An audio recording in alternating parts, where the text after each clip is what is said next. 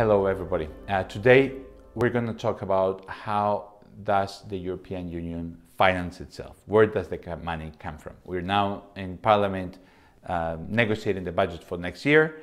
and we will have negotiations with the councils, with the ministers, and uh, we will decide how much we spend and how uh, is that money allocated. Well, where does the money come from?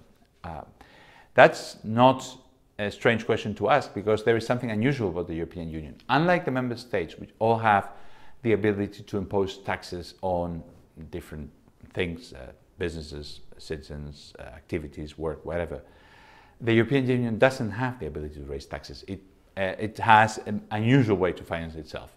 Let me break it down for you and make it as simple as possible. Suppose that the European Union wanted to spend 100 euros. Where would these 100 euros come from? There are three main sources of money that finance these 100 euros. 15 euros would come from custom duties. The European Union is a customs union. It has a common external border, customs border. Every good and service that comes in may have a tariff, a duty that it has to pay in order to be sold here. And that duty goes to finance the budget of the EU largely. There is some share, 20% of that money goes to the member state. Second, value-added tax. Uh, value-added tax is more or less harmonized across the union. Countries have a common system, even though they have different rates.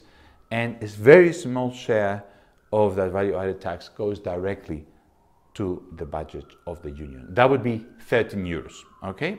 15 euros customs, 13 euros of value-added tax. We are at 28, we have to finance 100 euros. Where do they come from?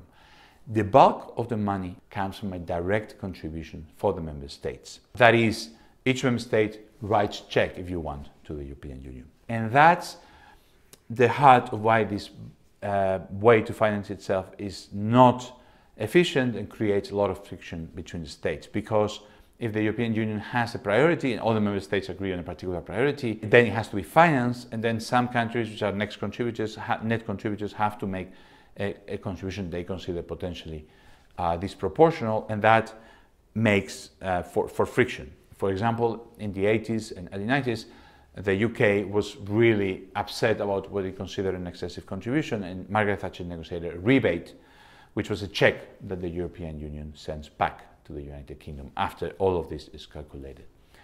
Uh, not only that, uh, the, the Brexit referendum was still about this issue. Uh, many in the UK felt, or, or, said at least, that the UK was contributing too much. Famously, Boris Johnson uh, made a picture of himself in front of a bus with the figure 350 million pounds, which was, they argued wrongly, the contribution per week that the UK was making to the European Union. And part of the referendum success was saying this 350 million pounds is going to be recovered and spent NHS. In fact, as we now know, there is much more than the UK gets from the European Union and much less than in Spain that it was then said. But okay, that's, that was some of the lies on the Brexit referendum. The point is that this is an inefficient way to finance the European Union. Uh, there is a lot of debate in the member states and in parliament about how could we finance the European Union better.